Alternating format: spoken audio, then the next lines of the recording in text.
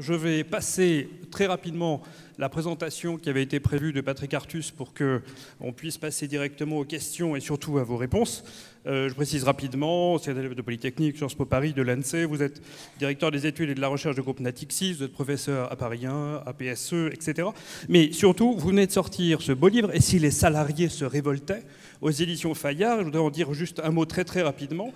Vous écrivez que nous gagnons des emplois, mais moins bien qualifiés et moins bien payés qu'avant la crise de 2007-2008. En octobre prochain, vous l'avez vu, ouvrira à Bretigny-sur-Orge le plus grand centre de distribution Amazon de France, avec 1000 emplois à la clé. L'économie Internet crée en France des emplois, mais des emplois manifestement plutôt basiques. Donc le salarié semble ne pas se retrouver dans les transformations industrielles, ce qui crée le contexte de forte contestation politique. Autour de ce contexte qui a l'air un petit peu déprimant, on va tenter de trouver des éléments aussi qui vont permettre de mieux voir l'avenir. Vous avez autour de vous des économistes, mais aussi un spécialiste de sciences de la vie et de la terre et un spécialiste d'histoire-géographie et de géopolitique. Donc, comme vient de le dire Béatrice, je ferai le méchant qui coupe les micros. Donc, euh, vous nous avons chacun trois minutes, trois minutes et demie, pas plus, pour poser une question et euh, 30 secondes par réponse. Ah non, j'exagère. Pour Patrick Artus, mais qu'il puisse, euh, avec sa pédagogie habituelle, nous expliquer les, grands éléments. Je laisse euh, la parole à Vincent Barou, professeur de sciences économiques et sociales au lycée Saint-Exupéry de Versailles. Merci Hugo. Euh, Monsieur Artus, on entend parler depuis plusieurs années de, démondialisation, de, de déglobalisation, notamment dans les médias. Et si on s'intéresse un peu à, la signification du, préfixe D, et qu'on regarde par exemple le, dictionnaire Larousse, on voit que euh, ce, préfixe exprime la cessation d'un état ou d'une action, ou l'état à l'action inverse. Donc finalement, parler de démondialisation signifie en toute rigueur que le processus de mondialisation serait en train de s'arrêter, voire de s'inverser dans toutes ses dimensions. Donc une première question, est-ce que vous êtes d'accord avec cette affirmation? Euh, oui, ben, bonjour à tous. Donc, je vais utiliser mes 12 secondes de temps de parole pour. Euh, donc, euh, on, a beaucoup parlé déjà depuis ce matin de, cette déglobalisation. et je ne suis pas forcément en accord avec tout ce qui a été dit, parce que je crois qu'il faut faire une distinction assez importante entre l'économie réelle et la finance. Suzanne Berger, ce matin, a mis en parallèle, enfin en disant qu'à la fois l'économie réelle et la finance se déglobalisaient. Je vais essayer de vous montrer deux graphiques pour essayer de vous montrer que si ceci est vrai pour l'économie réelle, c'est sans doute pas vrai pour la finance. Et justement, il me semble qu'il faut s'interroger une, une, configuration où la finance continuerait à être de plus en plus globale, tandis que l'économie réelle le serait moins. Alors, moi, je n'ai pas des temps de contrôle, donc j'ai aucune idée de ce que je suis en train de faire. Donc, si on peut, voilà. Alors, hop. Donc, normalement, euh, normalement, ceci devrait tourner les slides, mais ça ne fait rien du tout. voilà. Donc, euh, ce que vous voyez ici, d'abord, c'est donc pour illustrer ce qui a été dit plusieurs fois euh, depuis ce matin. Vous avez en haut le commerce mondial et en dessous en rouge le PIB du monde et en bas avec des pointillés bleus le rapport des deux.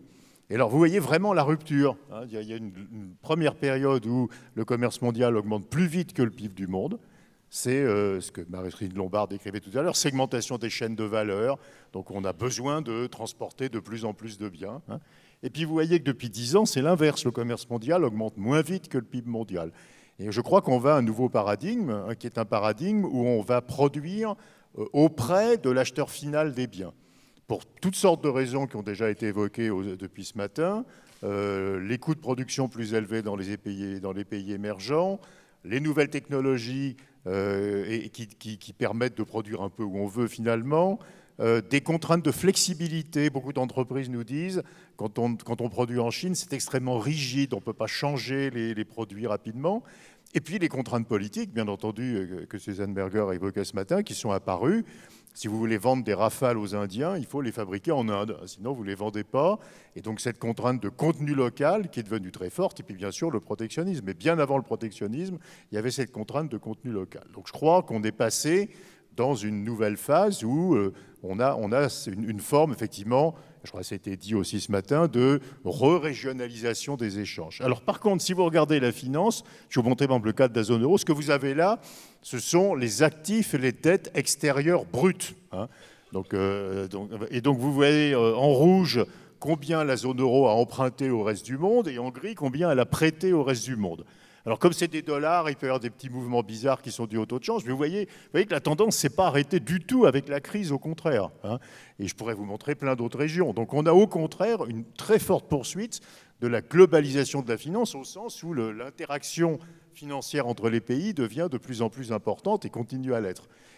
Et alors ça, c'est assez intéressant parce que je crois que quand vous regardez les deux, d'abord, ce changement de la nature de la production euh, et moi, je pense qu'il y a, des, pour parler horriblement, des segmentations des chaînes de valeur dans une certaine mesure. Ça va faire des gagnants et des perdants. Hein, si vous produisez auprès du consommateur final, bah, les gagnants sont les pays avec de fortes demandes intérieures où vous avez envie d'aller produire. Donc les États-Unis, l'Inde, par exemple, hein, euh, la Chine. Et puis, euh, le fait que la globalisation financière se poursuive veut dire que les, chocs économiques sont transmis maintenant beaucoup plus par la finance que par l'économie réelle. Hein. donc c'est la contagion financière qui va prendre le pas largement sur la contagion d'économie réelle. Bon, je m'arrête là, mais à 16h45, on a un happening, comme vous savez, où on pourra aller plus loin sur ces mêmes questions. Merci, je, je passe la parole du coup. Je laisse la parole à Christophe Hachon, professeur d'économie et gestion au lycée Victor Hélène Bach de l'Académie de Rennes. Bien, merci beaucoup. Euh, alors merci pour l'occasion qui m'est donnée de poser une question fort intéressante sur le livre que j'ai lu avec grande attention. Euh, donc, à la, lecture de ce livre, en fait, qui propose, parmi toutes les idées proposées, hein, il y en a une qui est fort intéressante. Ça consiste à dire que les salariés aujourd'hui subissent de plus en plus les effets de la précarisation, les effets de la flexibilisation, les effets des chocs macroéconomiques, notamment issus des crises financières, comme ça vient d'être dit. Et donc finalement, pour compenser cette prise de risque, vous proposez de développer les systèmes d'intéressement des salariés, notamment résultat de l'entreprise. Alors très séduisant euh, initialement, on se dit que finalement, euh, ça semble très intuitif pour les entreprises euh, fort dynamiques. Et puis finalement, en posant le livre, on se pose une deuxième question euh, qui interroge beaucoup plus, et on se demande finalement ce qu'il en est pour les entreprises qui subissent les effets des chocs macroéconomiques sans par ailleurs bénéficier de gains de productivité importants lors des phases de croissance. Et donc finalement, la réponse qui consisterait à mettre en place un système d'intéressement ne permettrait pas à ces salariés de bénéficier d'une compensation vis-à-vis -vis de leur exposition au risque. Et donc ma question est la suivante, comment faites-vous pour euh, pour développer un système pour ses salariés Oui, alors juste, je vais répondre, hein, mais euh, en amont, je crois qu'il il faut avoir à l'esprit donc je vous recommande évidemment la lecture de mon livre, un sympa, pas cher, enfin voilà. Hein. Euh, et je crois qu'il faut avoir à l'esprit qu'il y a deux, euh, y a deux mécanismes, hein, qui, c'est bien dans votre question, qui, se superposent aujourd'hui. Le premier, alors à nouveau, je ne sais pas du tout comment ce truc-là marche, donc, je, voilà. C'est la déformation du partage des revenus hein, entre les salariés et les entreprises. Donc, ce que vous avez là, c'est pour l'ensemble de l'OCDE. Donc, à nouveau, en rouge, la productivité, en gris, les salaires réels, et en bleu, le rapport euh, entre le, salaire réel et la productivité. Donc, vous voyez que depuis euh, une vingtaine d'années, la productivité a augmenté de, je vous le fais, à 47%, et le salaire réel de 22%. Donc les salariés n'ont reçu dans les pays de l'OCDE que la moitié des gains de productivité, ce qui est évidemment a, de grosses différences d'un pays à l'autre. C'est beaucoup plus violent aux États-Unis, en Allemagne, au Japon. Ce n'est pas le cas en France. Mais si vous prenez l'ensemble du capitalisme OCDE, vous avez bien ce phénomène. Et donc, je me pose effectivement la question que vous posez, c'est-à-dire comment on fait pour corriger ça? Évidemment, une façon de faire, c'est de redistribuer des profits aux salariés, euh, d'où l'idée de l'intéressement, de la participation, des actions gratuites, enfin tout ce qu'on peut faire pour redistribuer des profits aux salariés.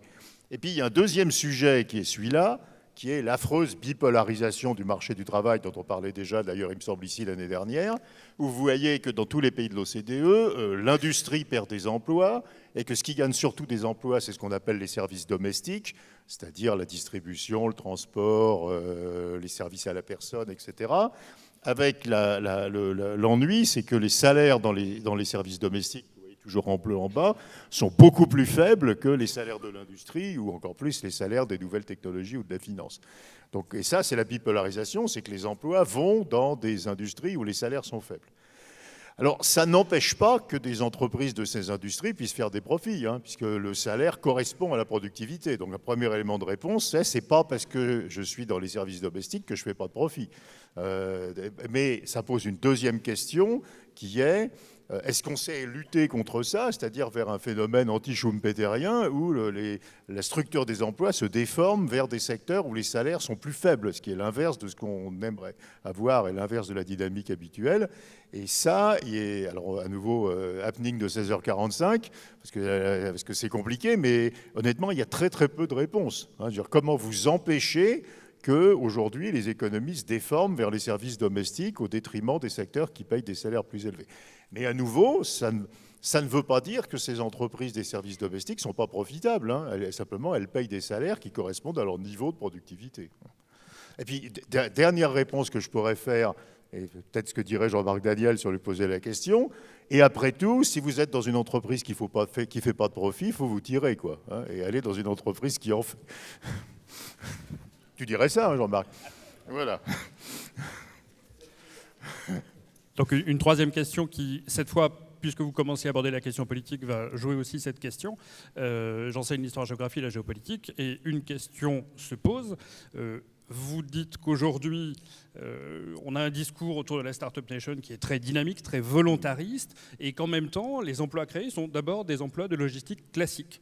Donc comment est-ce que le politique peut répondre à ce paradoxe qui est celui d'un discours politique volontariste qui ressemble finalement à celui de la vieille économie, et celui de besoin d'une population qui, via les populismes, est en train progressivement de se tourner vers une remise en question du fonctionnement classique de l'économie? Comment est-ce que le politique peut répondre à l'économie? En 30 secondes, bien sûr.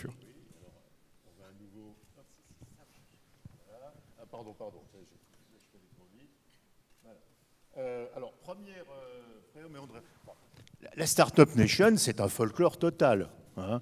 Euh, ce que vous avez en, gris en bas, c'est la proportion de l'emploi dans les pays de l'OCDE qui est l'emploi dans les nouvelles technologies au sens large. Donc les startups, mais les GAFA, les boîtes des télécoms. Donc vous voyez que c'est 3% des emplois, ça a toujours été 3% des emplois, et c'est complètement plat, ça ne, ça ne monte pas. Et il n'y a aucun moyen que euh, les nouvelles technologies soient l'endroit où vous créez des emplois qui permettent de euh, faire baisser le chômage de masse. Hein. Euh, il y a 100 000 startups en France qui ont en moyenne 3 salariés et qui survivent en moyenne 3 ans. Hein. Je veux dire, c'est pas ça qui va. Hein, il y a des milliers de types qui inventent la brosse à dents connectée, mais enfin, c'est pas ça qui va. Donc, évidemment, c'est bien d'avoir ça, mais à nouveau, c'est de la microéconomie. Enfin, quand vous travaillez sur la macroéconomie du chômage, Deuxième idée fausse, ce n'est pas non plus les indépendants. Vous voyez en haut la part de l'emploi indépendant dans l'emploi total, il n'arrête pas de baisser. Donc ce mythe qu'il faudrait passer du salariat à l'emploi indépendant pour retrouver de la croissance, adapter de nouvelles technologies, c'est complètement faux. Aux États-Unis, il n'y a pratiquement aucun indépendant. En Suède, il n'y a pratiquement aucun indépendant. Il y a deux pays où il y a beaucoup d'indépendants et où le nombre d'indépendants monte, c'est la France et le Royaume-Uni. Et c'est quand même essentiellement du détournement du Code du travail et ça n'a pas de rapport avec les besoins de la technologie.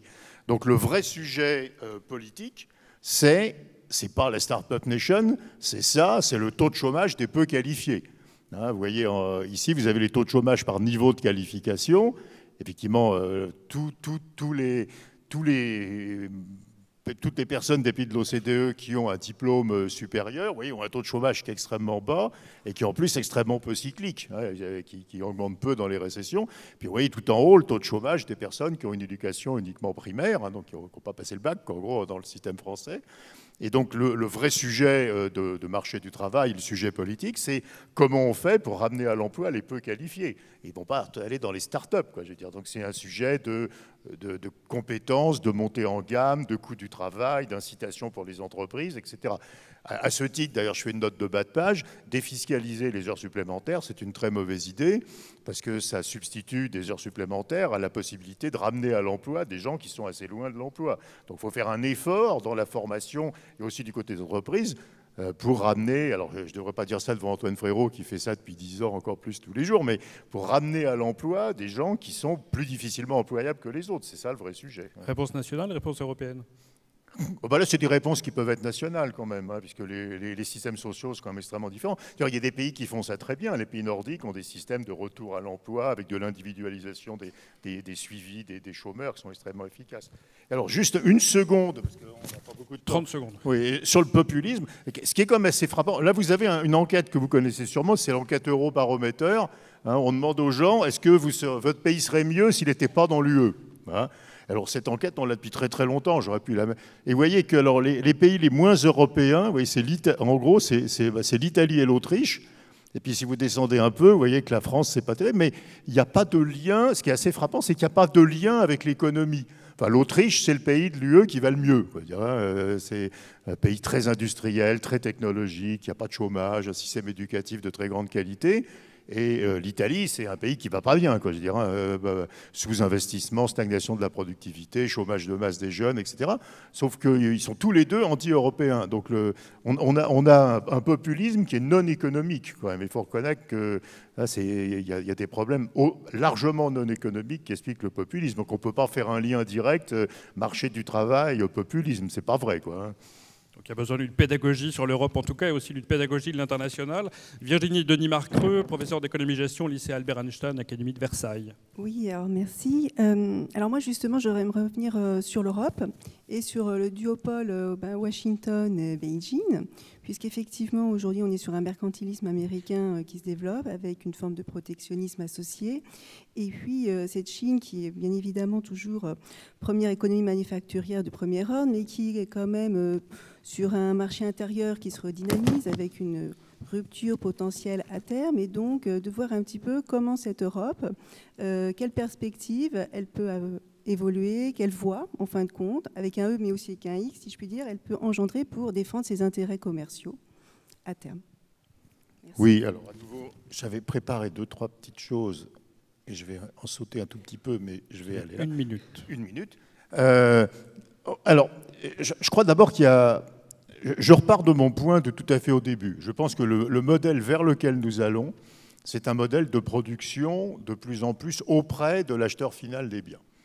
Donc finalement, ce qui est important, c'est de valoriser son marché intérieur, alors régional, pas forcément national.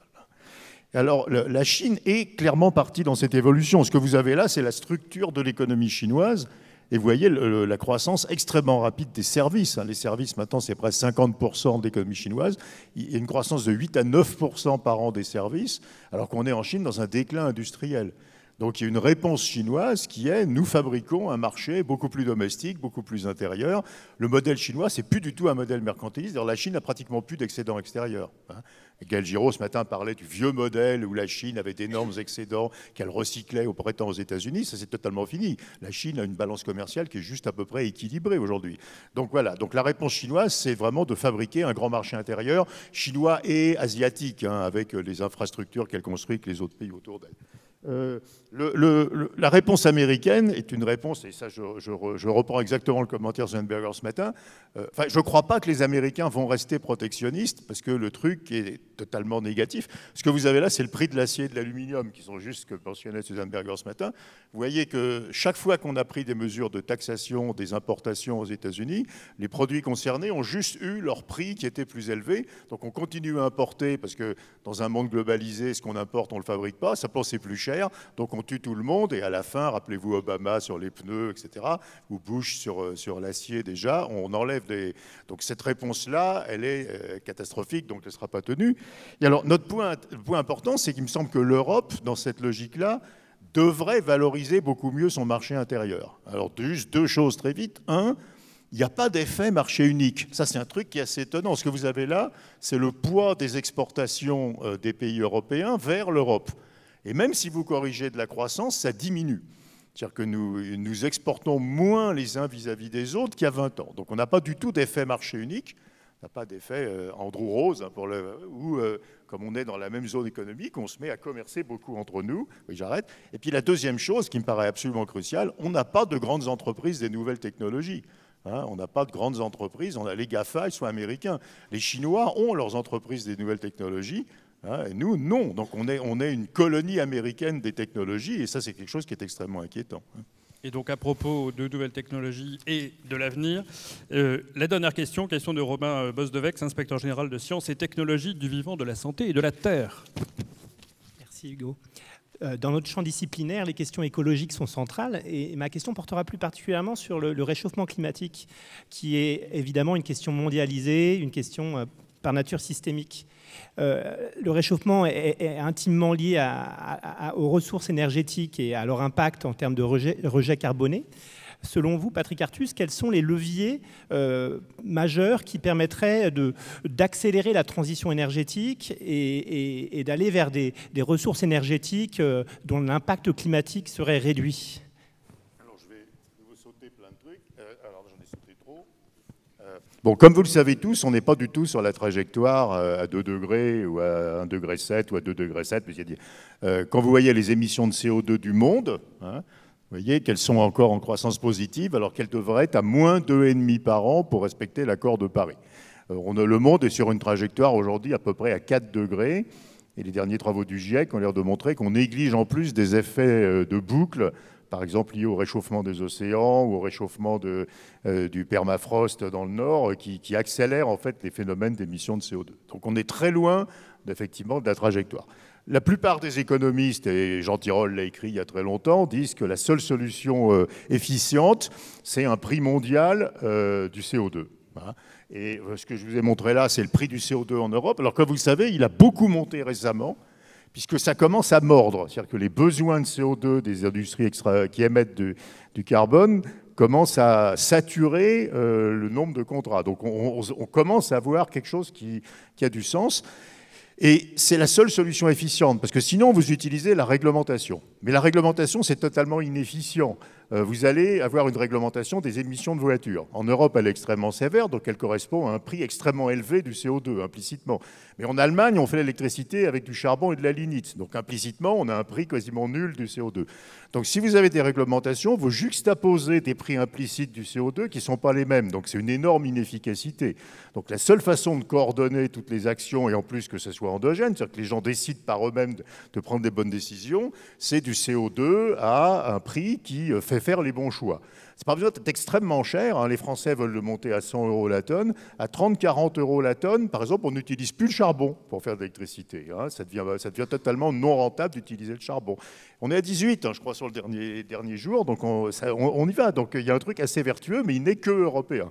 Alors, dernier point là-dessus, vous dites quoi aux Indiens? Alors, je vous saute les... Vous voyez les émissions de CO2 par, euh, dans les grands pays émergents L'Inde, c'est 5% par an.